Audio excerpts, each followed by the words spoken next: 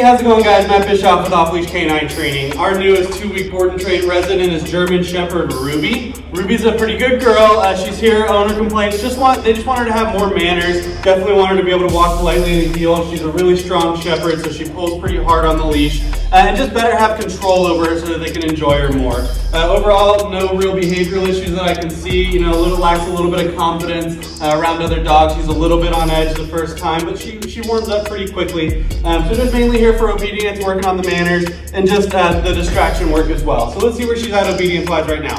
Ruby, come. Come here. Sit. Ruby, come. Ruby, come. Sit. Sit. Oh, good job. Down. Ruby, down.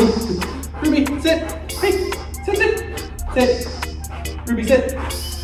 Can you sit? Ruby, sit. Ruby, sit. Good. Down. Good, Ruby, sit. Come, come. Ruby, place. Ruby, place. Come on, place.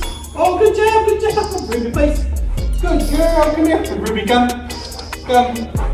So as you can see, doesn't really have a lot of obedience. She'll sit if you ask her several times. She clearly knows it. She just doesn't want to do it right now is my guess. So uh, just need to work on calming her down, get that obedience in check. I'll get a quick video of her on the leash uh, as far as walking here in just a second. And she's going to be great. Check back with us in two short weeks to see her progress. Thanks, guys. Come on, Ruby.